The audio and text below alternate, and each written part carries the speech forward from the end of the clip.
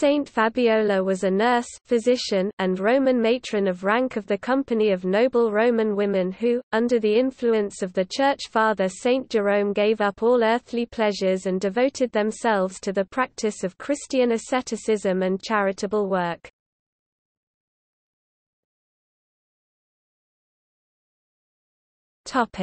Early life Fabiola belonged to the patrician Roman family of the gens Fabia. She had been married to a man who led so vicious a life that to live with him was impossible. She obtained a divorce from him according to Roman law and, contrary to the ordinances of the Church, she entered upon a second union before the death of her first husband. At the time of St. Jerome's stay at Rome 382–84, Fabiola was not one of the ascetic circle which gathered around him. It was only later that, upon the death of her second consort, she decided to enter upon a life of renunciation and labor for others.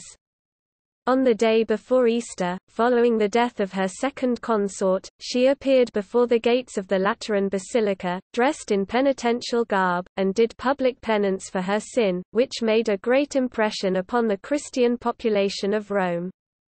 The Pope received her formally again into full communion with the Church.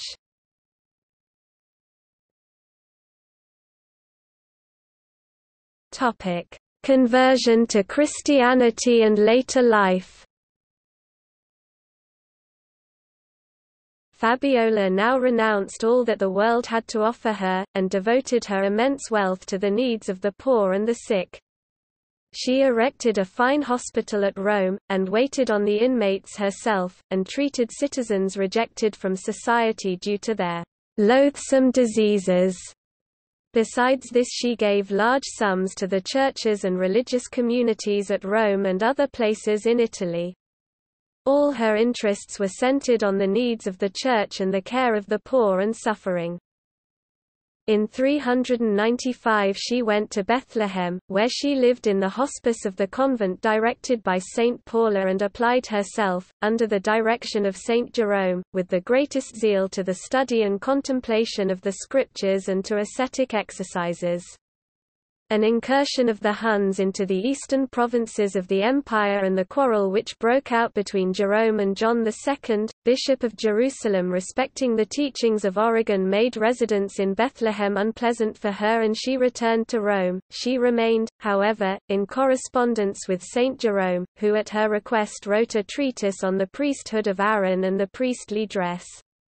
At Rome, Fabiola united with the former senator Saint Pammachius in carrying out a great charitable undertaking. Together they erected at Portus a large hospice for pilgrims coming to Rome. Fabiola also continued her usual personal labors in aid of the poor and sick until her death on 27 December of 399 or 400. Although Fabiola's practice of medicine was pragmatic in application, her legacy illustrates the involvement of early Christian women in the field of medicine.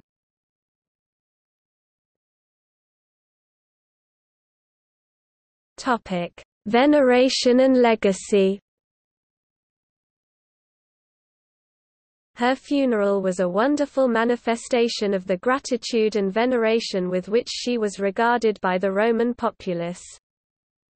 Saint Jerome wrote a eulogistic memoir of Fabiola in a letter to her relative Oceanus. Jean-Jacques Henner painted his portrait of Fabiola in a classical Roman profile in 1885. The original of this idealized portrayal of the saint was lost in 1912 but the image was copied by artists around the globe in the following century.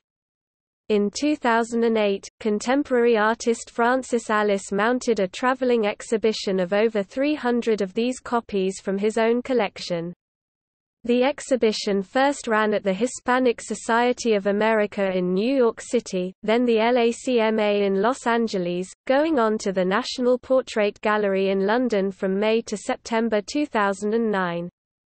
The collection, grown to include 514 copies of the portrait, was later on show at the Byzantine Fresco Chapel of the Menil Collection in Houston from May 21, 2016 to May 13, 2018.